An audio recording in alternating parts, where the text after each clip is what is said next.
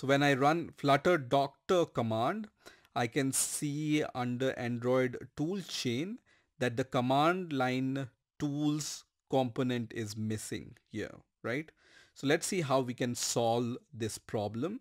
So for this, open your Android Studio and then if you see this kind of interface, then select more actions and then select SDK manager and then select Android's SDK option here and you will be able to see this SDK tools option and here you can see uh, the flutter doctor command is complaining about this option which says Android SDK command line tools which is not installed yet.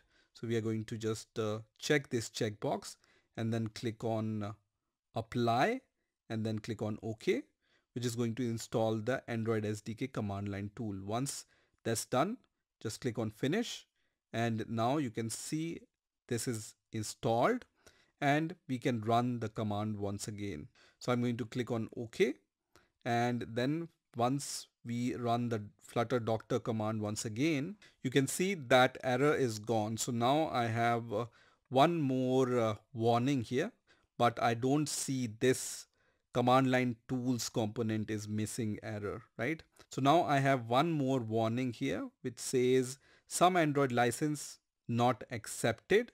So for this, I'm going to run this command, which is suggested here. So for this, I'm going to run this command, which is flutter doctor space hyphen hyphen android hyphen license. You can see this command I have already typed, which is flutter doctor android license. Press enter and then press Y here and then press enter and once again press Y and then press enter and then just keep on pressing Y until this license terms and conditions uh, is accepted, right?